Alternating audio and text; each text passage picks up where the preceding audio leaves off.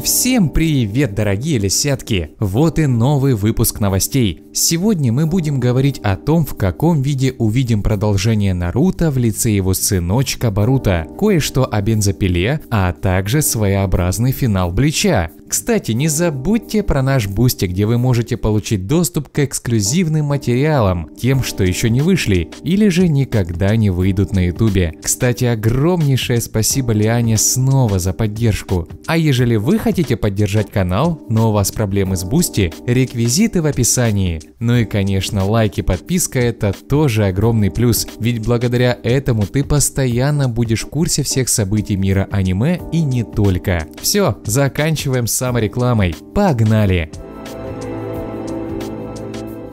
Новый трейлер аниме «Объединитесь». А ну признавайтесь, кто из вас любит петь в душе или же на какой-нибудь контент-платформе вроде того же ТикТока и Ютуба? Наша главная героиня Акира Киоси любила, и однажды ее заметили. Да, светлый посыл, работай усердно, и тогда тебе может улыбнуться удача, и тебя заметят. Но правда от себя бы сказал, что удачу еще порою нужно подпинывать, самому стучаться в двери к именитым людям, людям или же к возможным менеджерам. Агентство по поиску талантливых людей, которое заметило Акеру, основала легендарная айдол-пара, которая сошла с дистанции и стала воспитывать новое поколение. Наш главный герой создал группу Protostar и начал свой путь в шоу-бизнесе, на котором ему встретятся множество препятствий и битв против других айдол-групп. И скорее всего они будут иметь дело поначалу с такими же новичками, как и они, а потом с мастодонтами индустрии, и в финале, скорее всего, такой же амбициозной новой группой, которая к тому же гениальная, ну или что-то вроде того. Да, небольшое вангование сценариста. Трансляция данного произведения ждет уже нас на Рождество, и не только его. Так что ждем 7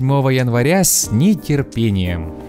Новый трейлер Ниер Автомата. Ох-охо, все ближе и ближе аниме про противостояние человека и бога из машины. На планету спустились пришельцы, которые благодаря вирусу создали несокрушимую механическую армию, и она оттеснила человечество на Луну. Однако человечество не было бы человечеством, если бы они просто так сложили лапки. Не все сдались, и некоторые готовы к сражению против превосходящего врага. Так что нас ожидает история о и одной из самых неловких ачивок в истории Стима. Интересно, учитывая сеттинг роботов и прочего футуризма, ведь вполне себе можно ее и обстебать. Уже представляю, как после определенного ракурса на 2B на экране появляется плашка ачивки. На данный момент неизвестна полная стилистика и полный набор жанров данного произведения, так что остается только строить теории и ожидать, хотя с этим всегда нужно быть и осторожным. Ведь слишком много ожидаешь, разочаровываешься, слишком мало можешь вообще не посмотреть.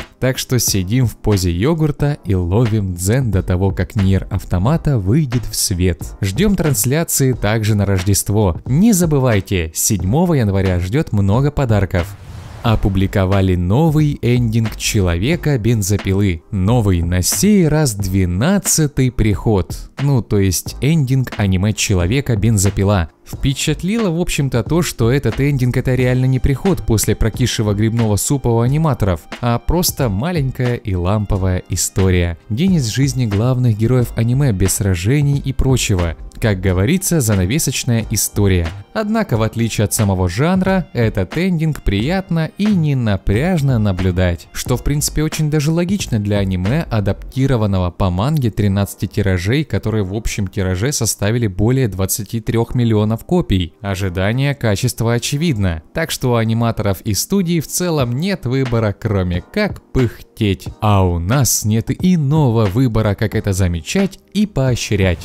Вторая часть финальной арки Блич. Блич – тысячелетняя кровавая война, она же ТКВ, она же тыква. Финальная на данный момент из полноценно созданных арок Блича. На общество душ напал опасный враг, которого считали давно умершим. Квинси во главе с одним из опаснейших персонажей Блича, императором Яхабахом, он же Яхве. Главному герою Ичига Курасаки, а также капитанам ГТ-13 предстоит противостоять Квинси, которые таили ненависть к Шинигами и готовились к войне целый целых тысячу лет. Именно поэтому арка и носит такое название. Квинси готова к полному уничтожению Шинигами во имя ликвидации баланса душ, а также короля душ. А Шинигами еще следует подготовиться к защите своего дома и спасителю короля душ. Ожидаем продолжения финальной арки Блича уже летом, так что запаситесь терпением и если боитесь спойлеров, заклинаю вас, даже не смотрите в сторону манги, я вас предупредил.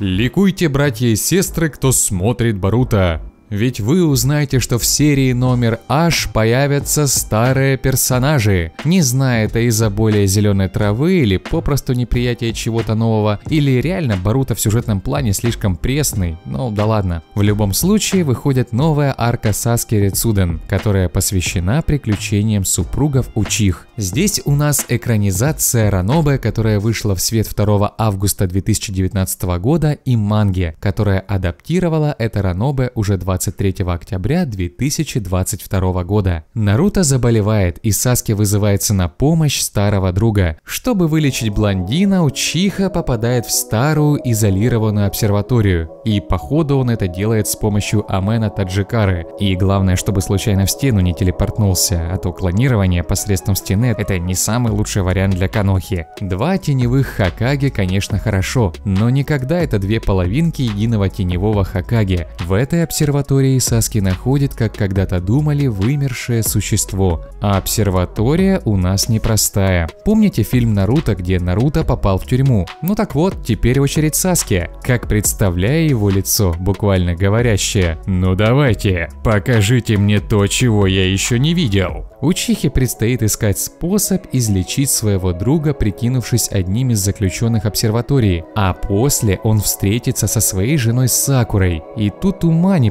приложу, как она там оказалась. Даже интересно стало, будет ли там повторно использована техника, которая запрещает использовать чакру. И если да, то как она будет работать на тайдзюцу и кензюцу. Все же у нас Саски уже взрослый, так что один раз посмотрит своим ренеганом и уже все коней двинут. А ведь будет забавно. На Саске поставили метку печать, а он с помощью Ренегана просто взял ее и поглотил в один момент. Дорогой дневник со стороны надзирателя.